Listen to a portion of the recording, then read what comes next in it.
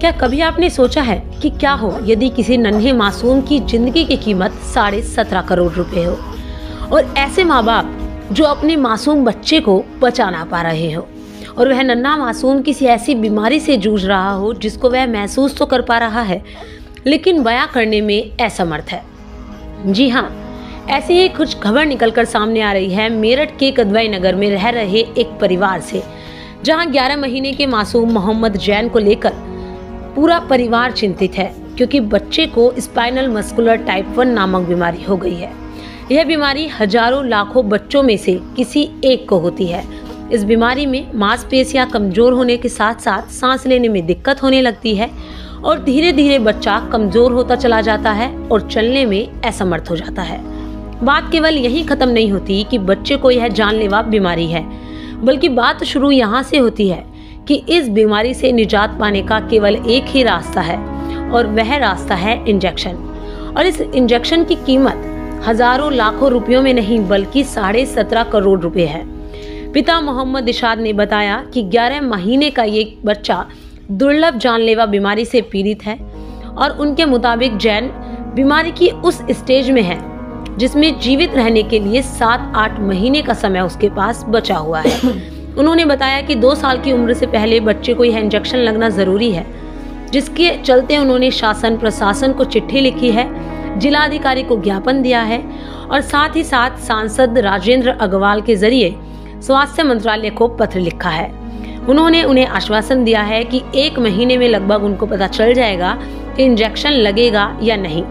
उन्होंने मोदी और योगी सरकार से गुहार लगाई है कि वे उनके बच्चे को जीवित रखने में मदद करें और आम जनता से भी लगातार माता पिता अपील कर रहे हैं कि उनकी मदद करें ताकि इस जानलेवा बीमारी से जूझ रहे बच्चे की जान बचाई जा सके।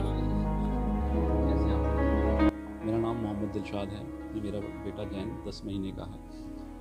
अभी दो महीने पहले हम इसका ट्रीटमेंट करा रहे थे। एम्स में ये कंफर्म हुआ 21 नवंबर 2023 को कि इसको एक स्पाइनल मस्कुलर एट्रोफी है। ये एक जेनेटिक, रियर जेनेटिक डिसऑर्डर है।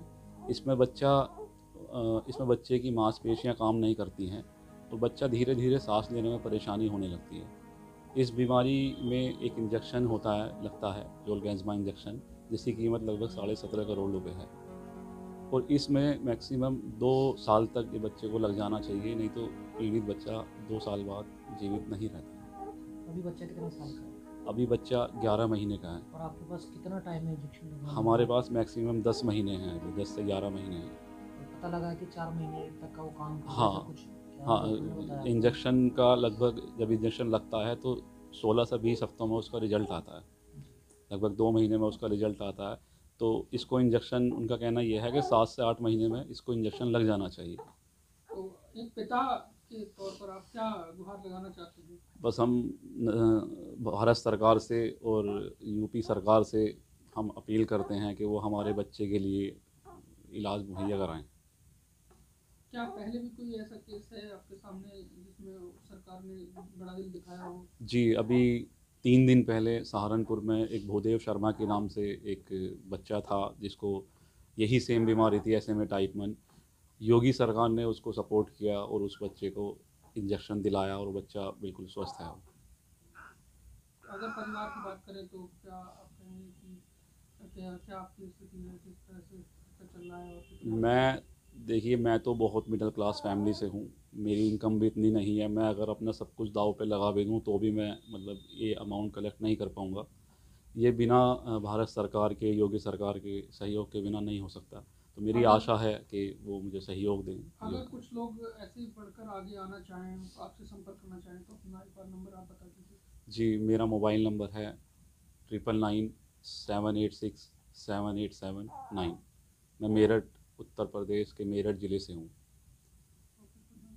कुछ आप किसी को कहना चाहते हो किसी इंडस्ट्री को या किसी बड़े आदमी को आप कहना चाहते हो कि आपकी हेल्प करी जाए जिस तरह बिंग वुमेन हुई या फिर अलग जो बस मेरा मेरी ये अपील है कि जो बड़ी बड़ी एन चल रही हैं हमारे भारत में मेरा उनसे भी अपील है कि वो हमारे बच्चे के लिए सहयोग दें और अपना थोड़ा थोड़ा कंट्रीब्यूशन भी अगर वो देते हैं तो हमारे बच्चे को वो इंजेक्शन मिल सकता है और जैन को बचाया जा सकता है।